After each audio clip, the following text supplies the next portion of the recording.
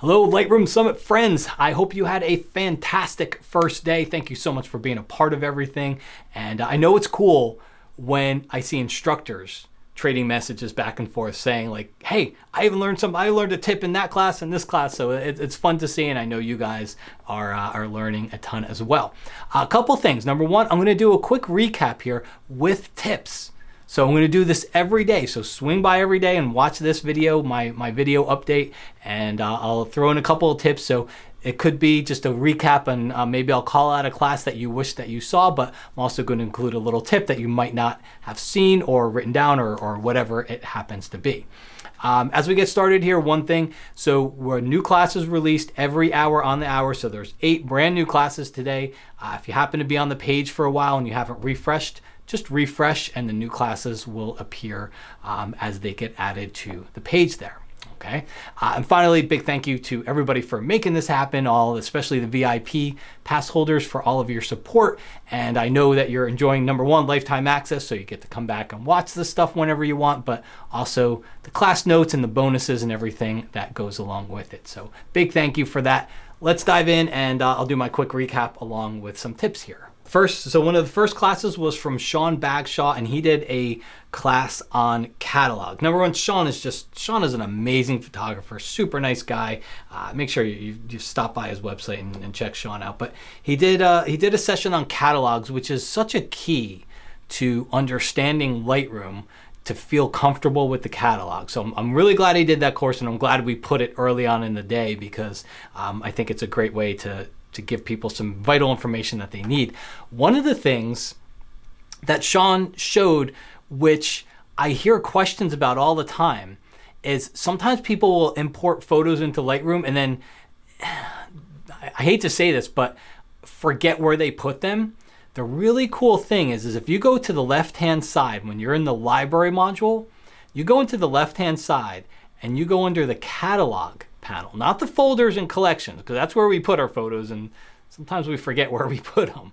But if you go to the catalog panel, one of those things is going to be previous import. So you can actually see the previous photos that you just brought into Lightroom right there. The last import, you'll see them right there. Another good one is missing photos. If you ever have photos that are on different drives that you forgot, uh, you can see uh, which photos are no longer connected to Lightroom right inside of there. So that catalog panel can be a big help, but make sure you check out Sean's class if you missed it.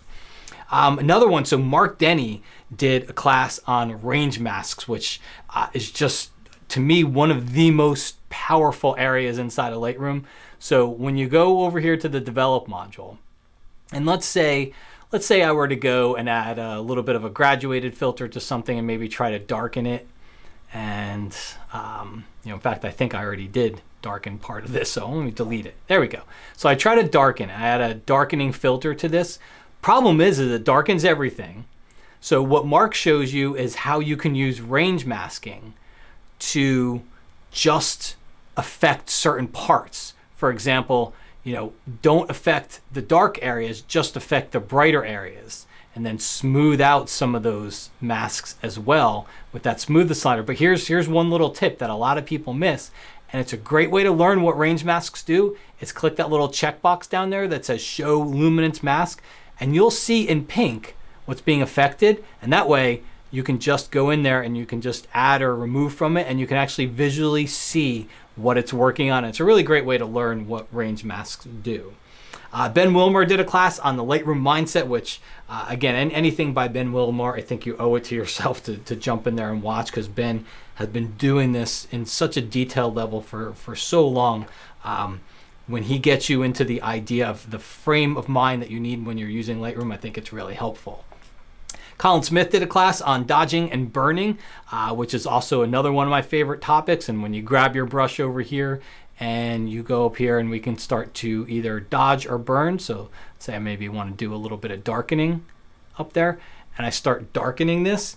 Um, one of the things that you can do is if you happen to spill over to a, the wrong area, you can hold down your option key on Mac or your alt key on PC and you can erase from areas.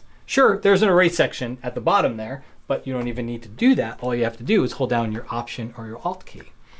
Uh, Dave Cross did a class, Lightroom, Photoshop, or both. I encourage you to watch that one because as I tell anybody that asks me that question, the answer is both. And Dave does a really good job of helping you figure uh, figure out you know which which is best for for which purpose. Uh, Chris Orwig, amazing photographer and amazing Lightroom instructor. He did a uh, he did a, a, really good class on portrait editing inside of Lightroom. So you saw a lot of landscape stuff. Chris does a lot of portrait work. And while I don't have a portrait up here, the technique that I'm going to show you. So let's say that you're you're painting something. So he was painting on, I believe it was somebody's teeth. You can press the letter O to see the overlay of what you painted, which helps. Can help you, you know, hone in on, especially just to see what you've worked on. A lot of people don't know that you can go under the Tools menu, go down to Adjustment Mask Overlay, and you can change it from red to green to white, black, whatever. So sometimes you may be painting on something red, and the red overlay doesn't help, but you can change the color of it to something else if you wanted to. And then Jesus Ramirez, another wonderful, wonderful instructor that's out there. Uh, he did a class on color grading, which is a huge topic. And one of the little tips that he uh, he talked about is let's say you're tinting your shadows or highlights or whatever it happens to be with color grading. One of the cool little things is you can hold down once you find a color, you can hold down the shift key, and this lets you control the intensity of that color. If you don't hold down shift, you can very, very easily move it, right? It doesn't necessarily stick where you are and you can start to move that color a little bit as you drag back and forth. So holding down shift keeps you in a straight line and it's a nice way to stick to that specific color, but at the same time to, uh, to go in there and you know, just finesse the amount or the intensity of that color a little bit. So hope you guys enjoyed the tips. Come back tomorrow. I'll have some more for you as well. And uh, thanks for being a part of this. Talk to you soon.